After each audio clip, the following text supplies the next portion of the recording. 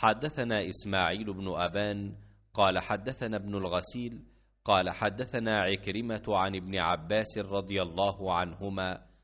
قال صعد النبي صلى الله عليه وسلم المنبر وكان آخر مجلس جلسه متعطفا ملحفة على منكبيه قد عصب رأسه بعصابة دسمة فحمد الله وأثنى عليه ثم قال أيها الناس فمن ولي شيئا من أمة محمد صلى الله عليه وسلم فاستطاع أن يضر فيه أحدا أو ينفع فيه أحدا فليقبل من محسنهم ويتجاوز عن مسيئهم.